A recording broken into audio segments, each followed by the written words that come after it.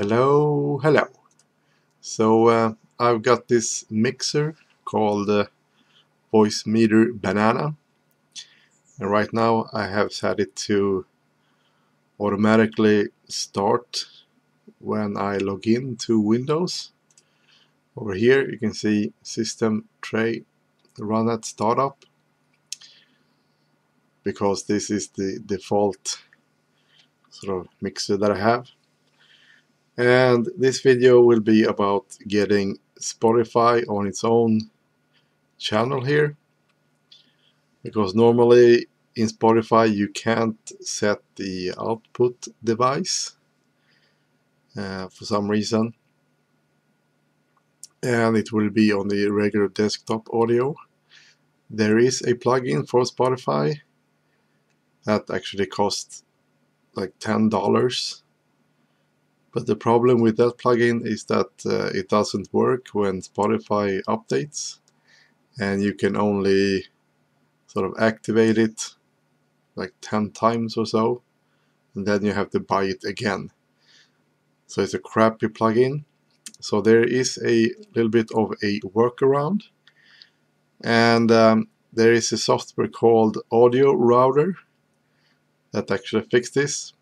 But the thing is that you need to start audio router before this Voicemeeter software or any other kind of mixer software because if I don't uh, start that first this uh, mixer will sort of uh, freeze. It will sort of stop working and I have to restart it. So what I have to do here is that I actually need to um, uh, exit this mixer and I hope it doesn't destroy the OBS here. So let's see I just select shut down Voicemeeter and yeah it should be microphone. And now actually I have it a shortcut to the audio router. And like this and right now you can't really see Spotify so I need to start Spotify like this. And it's kind of weird. I also have to play some music so I will actually do it like this. Because I don't want any copyright stuff. Uh, so I just yeah select this one. So I let it run like this. And right now here you can see actually it's Spotify. It should be playing. And then you click the arrow down here and people might think that you should do a route but that doesn't really work that well. So you need to have select duplicate and over here you can actually select the sort of device you should play on. And I will actually use this cable input like that. And OK and now it's down here.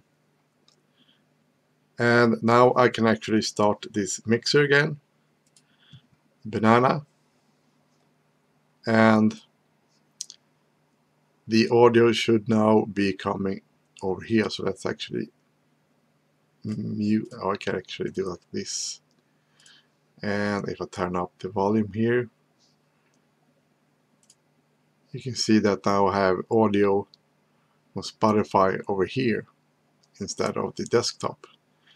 And now I can actually control it a lot better. You know I can set to mono or which output that I should put it on and this A1, A2, A3 yeah, you can see that this is the outputs over here.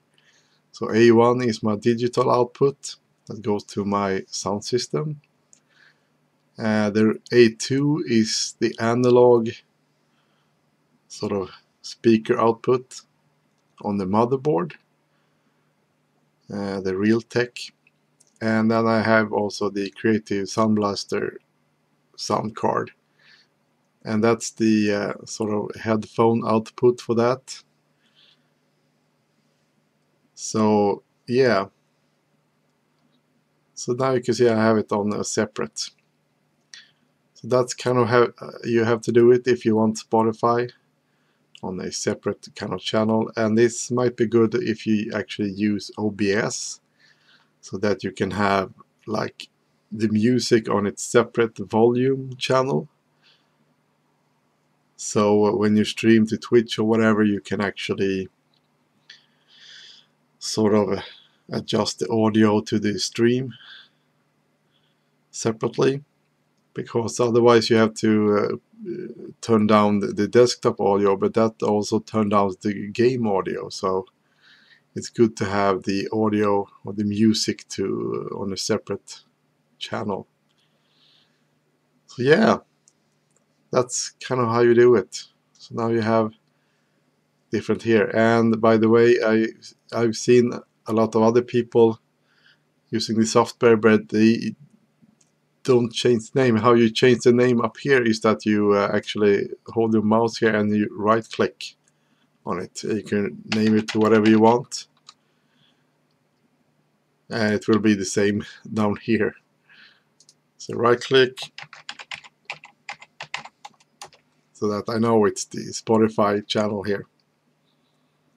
And I got the microphone and Discord desktop and VMware, so my virtual machine have their own separate channel as well.